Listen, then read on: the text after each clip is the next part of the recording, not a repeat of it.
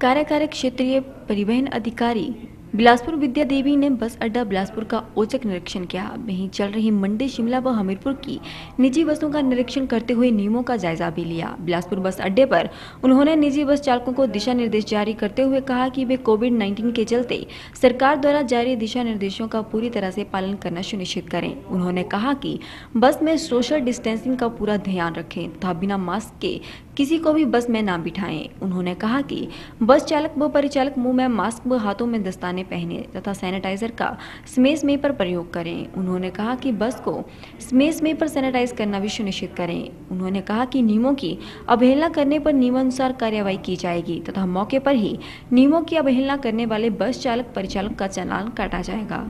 Private bus जो चल रही थी, मंडी से आई है, इसको चेक करने के लिए मैं बस स्टैंड में आई थी। ड्राइवर और कंडक्टर को बता दिया है कि आपको प्रॉपर जो भी सुरक्षा के प्रबंध है वो करने पड़ेंगे। उसके बाद ही गाड़ी चलाना सुनिश्चित करें। वो इनको बता दिया है।